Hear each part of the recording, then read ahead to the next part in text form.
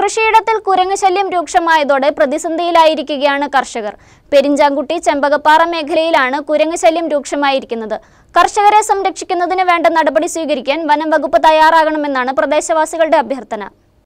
സാമ്പത്തികമായി പിന്നാക്കം നിൽക്കുന്ന കുടുംബങ്ങളാണ് പെരിഞ്ചാങ്കുട്ടി ചെമ്പകപ്പാറ മേഖലയിലുള്ളത്. കൊക്കോയും വാഴയും കുരുമുളകും ജാതിയും ഉൾപ്പെടെയുള്ള ചെറുകിട കൃഷികളാണ് ഇവരുടെ വരുമാനം. എന്നാൽ കാട്ടുമൃഗങ്ങളുടെ ആക്രമണം മൂലം കൃഷിവിളകളൊന്നും ഇവർക്ക് ലഭിക്കുന്നില്ല. കുരങ്ങു ശല്യം മൂലം ജീവിതമാർഗം വഴിമുട്ടി ദുരിതത്തിലായിരിക്കുകയാണ് പെരിഞ്ചാങ്കുട്ടിയിലെ കർഷക കുടുംബങ്ങൾ.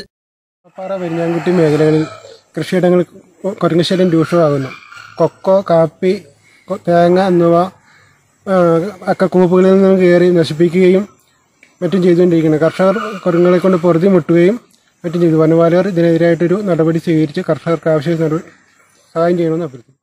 തേങ്ങ ഉൾപ്പെടെയുള്ള കാർഷിക വിളകൾ കുരങ്ങുകൾ പറിച്ച് നശിപ്പിക്കുകയാണ്. മുപ്പത്തു മുമ്പേ കപ്പ ഉൾപ്പെടെയുള്ളവ രാത്രികാലങ്ങളിൽ കൂട്ടമായി എത്തിയാണ് നശിപ്പിക്കുന്നത്. പെരിഞ്ചാങ്കുട്ടി തേക്ക് മുള പ്ലാന്റേഷനിൽ നിന്നുമാണ് കാർഷിക മേഖലയിലേക്ക് കുരങ്ങുകൾ എത്തുന്നത്. അടിയന്തരമായി വനം വകുപ്പിന്റെ ഭാഗത്തു നിന്ന് കർഷകരെ സംരക്ഷിക്കുന്നതിന് വേണ്ട നടപടി സ്വീകരിക്കണമെന്നാണ് പ്രദേശവാസികളുടെ അഭ്യർത്ഥന. സൽജി ടിത്തോപ്പ് ന്യൂസ് ബ്യൂറോ മുരിക്കാശ്ശേരി.